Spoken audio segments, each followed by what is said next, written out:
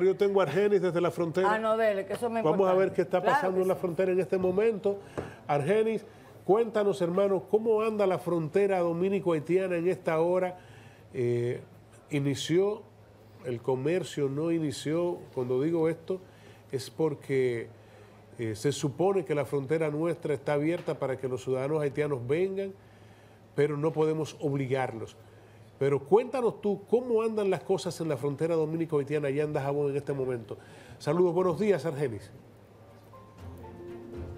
Buenos días, buenos días a toda la audiencia de Dominicana en la mañana.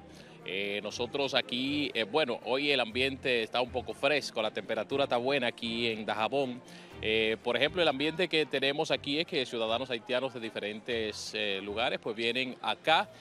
Sabemos que las puertas son abiertas a las 11 de la mañana para pasar hacia el lado haitiano. Pero en cuanto al comercio, al comercio eh, realmente eh, está abierto, o sea, o sea, en el día de ayer estaba abierto eh, el mercado binacional de este lado, de aquel lado eh, no podríamos decir lo mismo. Argenis, adelante.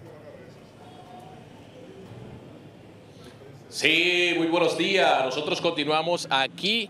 Eh, en el día de ayer, pues las autoridades dominicanas estaban permitiendo a los haitianos que pasasen, eh, pues, eh, mercancía aquí en este paso fronterizo, pero en la tarde las autoridades haitianas, pues, comenzaron a destruir la mercancía que los haitianos, pues, llevaban hacia su país. Y realmente allá en, en Haití pues fue publicado en algunos medios diciéndole, mostrándole al presidente Luis Abinader, eh, no queremos su, mercancía y unas cuantas palabras así.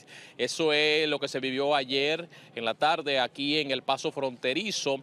Eh, una gran cantidad de haitianos, pues ya cerrada la puerta a las 5 de la tarde que se cierra la puerta, pues quedaron varados de este lado y hoy reinicia la dinámica de el retorno voluntario de los ciudadanos haitianos que deciden eh, regresar a su país de manera voluntaria. Bueno, como la comisión de la OEA está aquí en el país para tratar el tema sobre el canal que se construye en Juanamende, nosotros nos mantendremos a la expectativa a ver qué acontece hoy con esa comisión que vino de la OEA para eh, ver eh, la construcción de este canal allá en Juana Mende. Nosotros nos mantendremos en este lugar para llevar todas las incidencias. Es toda la información que tengo por el momento, a menos que tengan alguna eh, pregunta. No, está bien, No, mira. gracias. Yo No, de- eh, que me Que aceche, que aceche a los señores de la OEA, a ver si, si por ahí. Y puede contrario a lo que decía Areli, contrario a lo que decía Jesús Nova ahorita,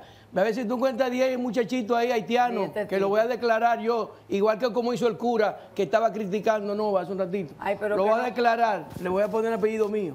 Director, qué irresponsable. que no machaque eso, eso ají, que lo mande para acá. Pero bueno eso- que eso- esas que, no es. eh, para la gente que está, nos está escuchando en la radio, veíamos unas imágenes de ciudadanos haitianos que le quitaron la mercancía, la tiraron al suelo y comenzaron a destruirla para que no llegara al pueblo haitiano que tanto necesita. Lo- Comenzaron a pisotearla. Así es. No, no, no, o sea, se le Sí, incautaron los que y la logran pasar y comprar ¿Quién las bandas y, lo- y ciertos ciudadanos Mire, los mire, mire. interceptan y les quitan las mercancías, se las botan, se las queman, se las